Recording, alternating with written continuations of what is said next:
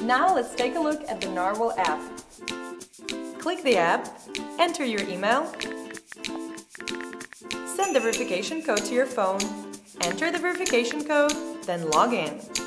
Enter your name, choose gender, then it's done.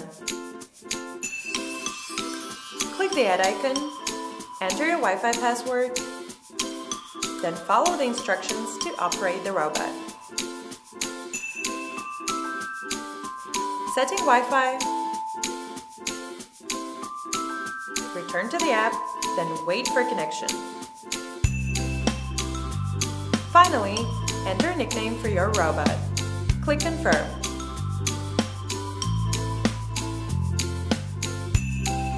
Click the robot icon, click the start icon below, choose mapping.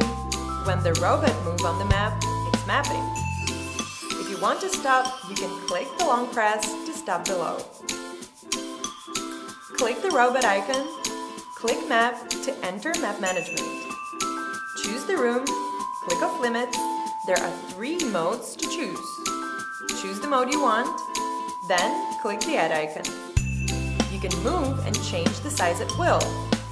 Then click on the upper right corner to confirm. Before vacuuming, click the icon under Recall. Switch between normal and power modes to adjust suction. Then, click the Start icon. In vacuuming mode, click the robot icon. Click on the quick above. Then, choose the room you want to clean. Slide the slider to select the cleaning times you want to clean. Then, click Start.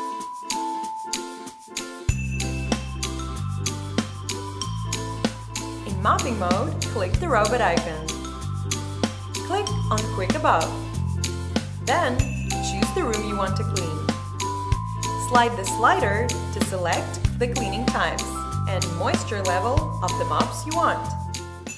Then, click Start. Click the robot icon, click Device, then Share Robot. Click Add Member, enter the user's account you want to add, you can set a nickname, and then send invitation. To be invited, just click the information bar at the top right and select System Info. Accept. After the addition is successful, the inviting party can see the SAP account in the Share Robot.